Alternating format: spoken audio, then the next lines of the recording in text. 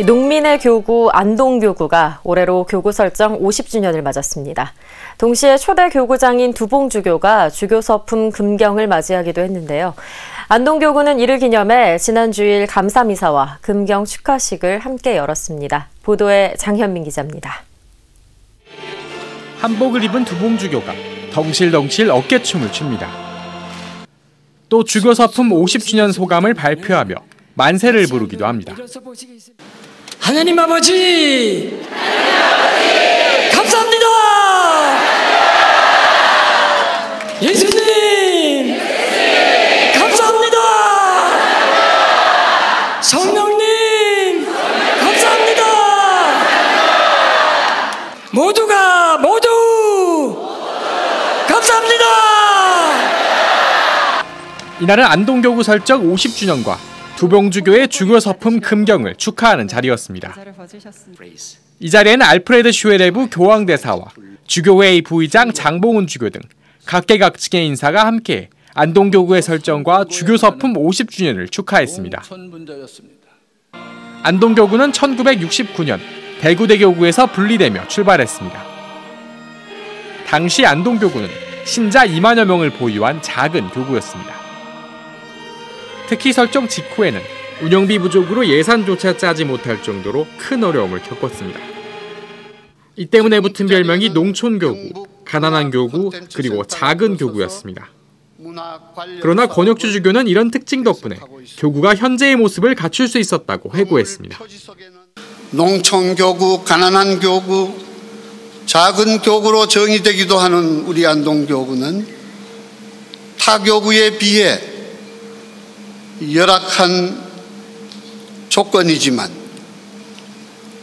초창기에 이러한 조건들을 적극적으로 받아들이면서 긍정적으로 살았기 때문에 하느님께서는 이러한 열악한 조건들을 축복으로 바꾸어 주셨습니다. 이는 분명히 우리 안동교구가 함께 기억해야 할 일이고 감사해야 할 일입니다. 또 권주교는 어려움을 헤쳐나가는 중심에 두봉주교가 있었다며 앞으로도 그의 정신을 이어가기 위해 노력하겠다고 밝혔습니다. 우리 안동교구 초대 교구장님이셨던 두봉주교님께서는 교구장 취임사에서 전 교구민들에게 신복 8단의 정신대로 살자고 선언하셨고 그리고 기회 있을 때마다 그 정신을 강조하셨습니다. 2003년 5월에 우리는 초대 교구장님의 이러한 정신을 이어받아 함께 교구 사명 선언문을 만들었고 사명 선언문의 정신대로 지금까지 살아왔으며 앞으로도 늘 새롭게 그렇게 살아갈 것입니다. 안동 교구민들도 권주교의 뜻을 이어받아 자기 삶에서의 신앙 실천 선언문을 만들어 감사 민사에 봉헌했습니다. 감사 미사는 지금까지 어려움을 함께 해온 교구민들을 위한 축제의 장이기도 했습니다.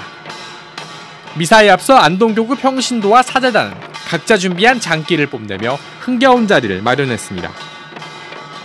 또 교구민들은 미사 마지막에 교구가인 기쁘고 떳떳하게를 합창하며 장관을 연출하기도 했습니다. 올해 교구 설정 50주년을 맞으며 신앙생활의 쇄신에 힘써온 안동교구. 이번 50주년이 또 다른 도약을 위한 발판이 되길 기대해봅니다. CPBC 장현민입니다.